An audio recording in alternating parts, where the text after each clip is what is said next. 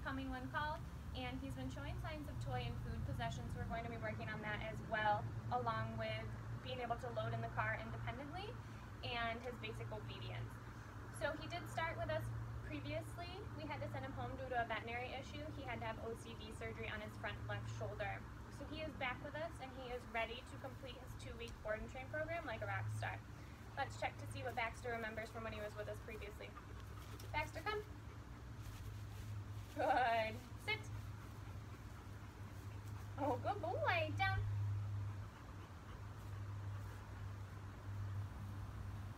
No, maybe, maybe.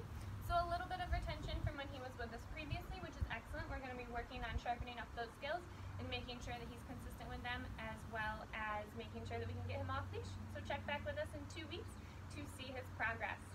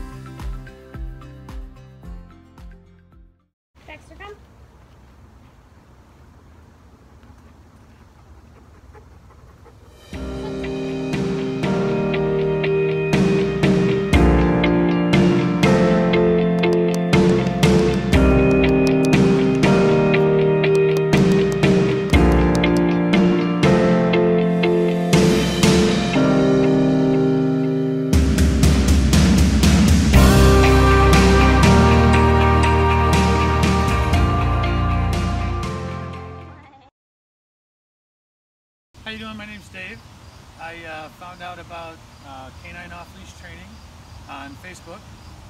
So I gave him a call. We had some problems with Baxter. Uh, and within two weeks on the board and train program, uh, all his problems have been corrected. And we're very excited uh, for the future.